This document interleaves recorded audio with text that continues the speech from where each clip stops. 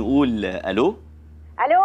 أنت يا واد يا يونس أنت مش قايل لي إنك داخل تنام يا روح أمك مين؟ واضح إنها السيدة الوالدة. مش شرط على فكرة ممكن حد يقول لك يا روح أمك بس ما يبقاش أم حضرتك. معاك حق فعلا أنا السايس لسه قايلها لي الصبح. أنت فاكر يعني لما هتسيب لي صاحبك العبيط ده نايم مكانك في السرير بيشخر هتضحك عليا؟ أنا مش قلت لك 100 مرة تشيل موضوع التأليف ده من دماغك خالص؟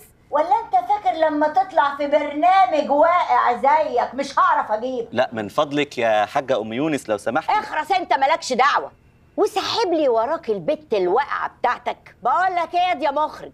هات لي الكاميرا على الجمهور. يلا. اطلعي يا حلوة. اطلعي يا مزة من تحت الكرسي. اطلعي بقول لك. أنت عايزة من ابني إيه يا بت أنت؟ عايزة تاخديه مني؟ وأنت يا يونس. عايز تتجوزها وتسيبني؟ لا يا ماما والله أنا مستحيل أعمل كده. أنا أصلا يا طنط مش هتجوزه غير لما يشتغل ويبقى قامة وقيمة. هو أنت تطولي تتجوزيه؟